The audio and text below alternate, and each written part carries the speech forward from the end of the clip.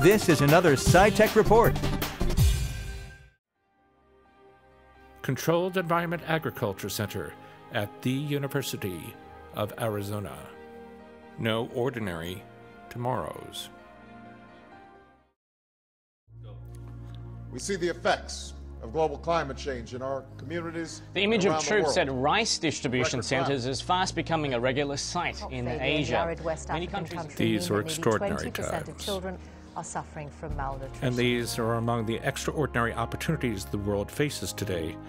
On our Earth and beyond, global vision and solutions are found in controlled environments agriculture, its roots deep in land grant and desert traditions of the University of Arizona.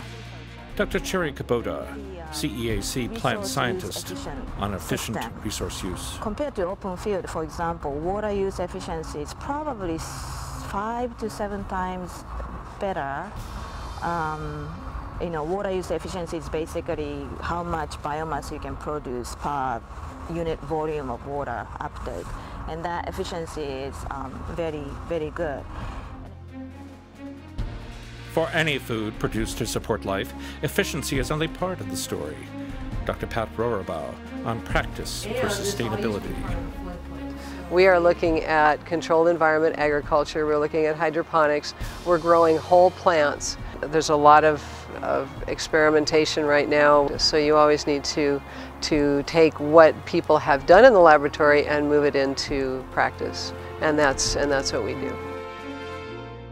These are among the keys CEAC Applied Research has found as it moves to support life for space travel sponsored by NASA and the National Science Foundation. That research began with greenhouse applications to feed the South Pole Station in the ice desert of Winter's Dark.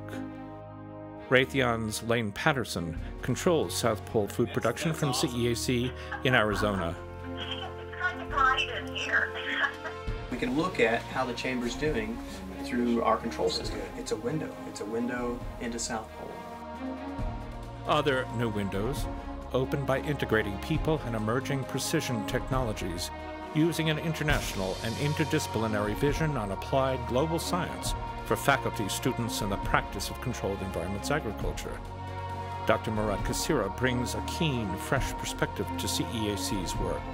Precision agriculture is very important, in, especially in field operations, but we're interested in precision farming or smart technologies in controlled environment applications as well.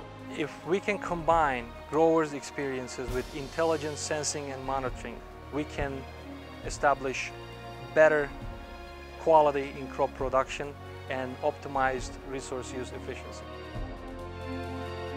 Controlled environment agriculture can make it possible for each of us on Earth to have efficient, sustainable, and abundant food, air, and water for life.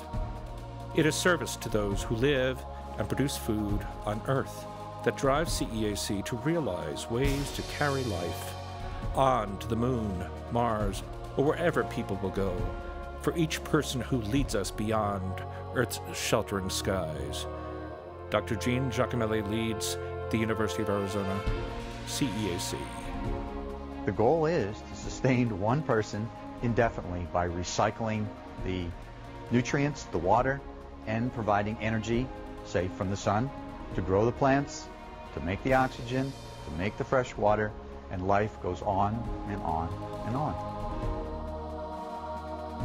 Solutions for living on our challenged planet are found in imaginative use of the future.